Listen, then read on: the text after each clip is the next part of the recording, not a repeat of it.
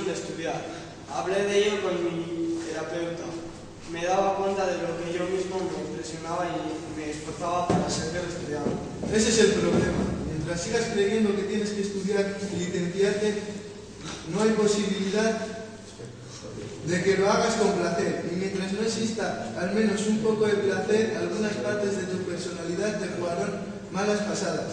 Jorge repetía hasta la santidad que no creía el esfuerzo. Decía que no hay nada inútil que pueda conseguirse con esfuerzo. Sin embargo, en este caso yo creo que se equivocaba. Por, el- por lo menos sería excepción que confirma la regla. Pero Jorge, yo no puedo dejar de estudiar. Yo creo que en el mundo que me va a tocar vivir llegue a ser alguien si no tengo un título. De algún modo una carrera es una garantía. Puede ser. ¿Sabes qué es el Talmud? Sí. Hay un cuento en el que, el, que el Talmud trata sobre un hombre común. Se trataba del portero del prostíbulo. No había en aquel pueblo un oficio peor visto y peor pagado que el, el de portero de prostíbulos. Pero, ¿qué otra cosa podía hacer aquel hombre? De hecho, nunca había aprendido a leer ni a escribir. No tenía ninguna, ninguna actividad ni oficio. En realidad era su puesto porque su padre había, que su padre había sido el portero de ese prostíbulo, y an- antes que, antes que él. Y antes que él, el padre de su padre. Durante décadas, el prostíbulo había pasado de padres a hijos, y la portería también. Un día, el viejo propietario murió, y un joven con inquietud creativo y emprendedor se, hi- se hizo cargo del prostíbulo. El joven decidió modernizar el negocio. Modificó las habitaciones y después citó al personal para darle nuevas instrucciones. A partir de hoy, usted, además de estar en la puerta, me va a preparar un informe semanal. Allí anotará la cantidad de parejas que entran cada día. A una de cada cinco le preguntará cómo fueron atendidas y qué corregirían del lugar.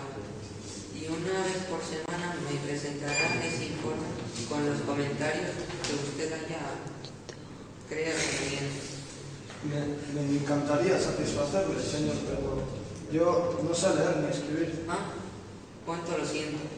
Todos, como usted comprenderá, yo no puedo pagar a otra persona para que haga esto.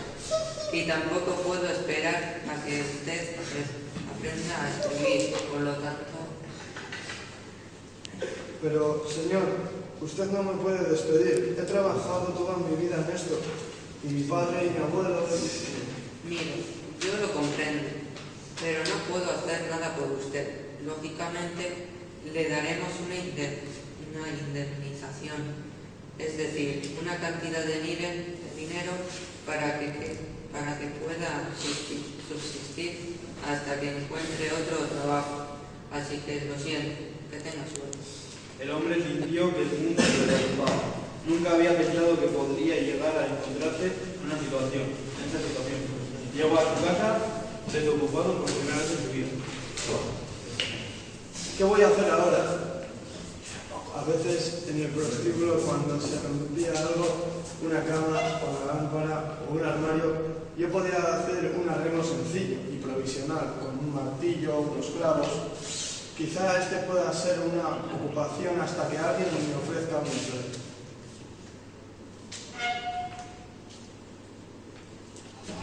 Busco por, busco por toda la casa, busco por toda la casa las, herramientas que necesitaba y solo encontró unos clavos olvidados y una tenaza pillada. Tengo que comprar una caja completa, usaré algo de dinero que me han dado. Vaya, resulta que en el pueblo no hay ferretería. Ahora tendré que viajar dos días en mula para la, la compra. ¿Qué más da? Iré pues. A su regreso llevaba una hermosa y completa caja de herramientas. No había terminado de quitarse las botas cuando, cuando llamaron a la puerta. Hola, señor. ¿Tendrá usted un martillo para prestarme? Eh, mire, sí, lo acabo de comprar, pero lo necesito para trabajar. Como me he quedado sin empleo, Bueno, pero yo se lo devolvería mañana muy temprano. vale, me parece bien. Adiós. A la mañana. Me he perdido. A, a la mañana siguiente, tal como había prometido, al el vecino llamó a su puerta. Necesito otra vez el martillo. ¿Por qué no me lo vendes? Lo siento, lo necesito para trabajar. Además, la, la ferretería está a, do- a dos días de mula. Hagamos un trato. Yo le pagaré a usted todos los días y dos días de vuelta, más el precio del martillo. Total, usted está sin trabajo. ¿Qué le parece?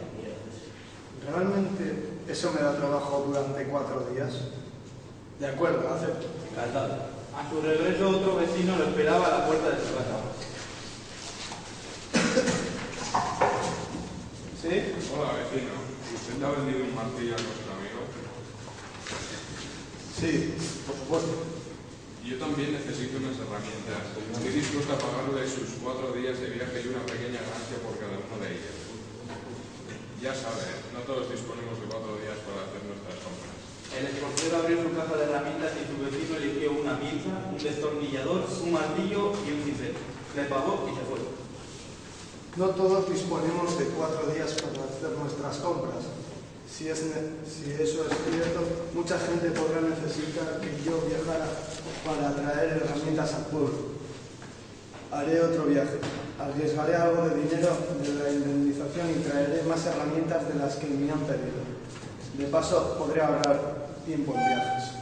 Empezó a correrse la voz por el barrio y muchos vecinos decidieron dejar de viajar para hacer sus compras. Una vez por semana, el ahora vendedor de herramientas viajaba y compraba lo que necesitaban sus clientes. Pronto se dio cuenta que si encontraba un lugar donde almacenar las herramientas podía ahorrar más viajes y ganar más dinero. Así que alquiló un local. Después amplió, después amplió la entrada del almacén y unas semanas más tarde añadió un escaparate. De manera que el local se transformó en la primera ferretería del pueblo. Todos estaban contentos y, compraban en su tienda. Ya no tenía que viajar porque la ferretería del pueblo vecino le enviaba sus pedidos. Era buen cliente. Con el tiempo todos los, compradores de, pueblos pequeños más alejados prefi- prefirieron comprar en su ferretería y ahorrar dos, viajes de, dos días de. De viaje. Tal vez mi amigo el tornero podría fa- fabricarme las cabezas de tornillos. Y, ¿por qué no? También las tenazas, las pinzas y los pinceles. Después vendrán los clavos y los tornillos. En 10 años, en 10 años aquel hombre se convirtió en un millonario fabricante de, de herramientas, a base de honestidad y trabajo, y, aca- y acabó siendo el empresario más poderoso de la región. Tan poderoso era que un día, un con motivo del inicio del año escolar, decidió donar a su pueblo una escuela.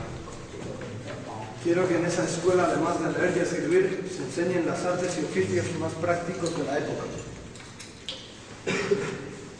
El, al intendente y el, alca- y el alcalde organizaron una gran fiesta de inauguración de la escuela y una importante cena de homenaje para su fundador. Aprovecho esta oportunidad para hacerle entrega de las llaves de la ciudad.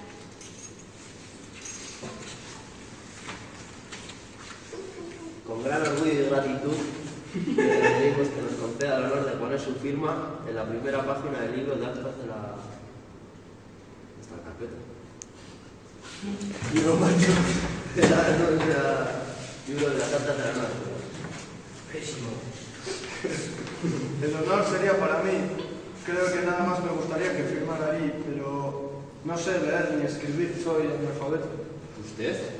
¿Usted es analfabeto? No. ¿Usted no sabe ni leer ni escribir? ¿Usted construyó un imperio industrial sin saber ni leer ni escribir? Estoy asombrado. Me pregunto qué hubiera hecho si hubiera sabido leer ni escribir. Yo se lo puedo contestar. Si yo hubiera sabido leer y escribir, sería portero del prostíbulo.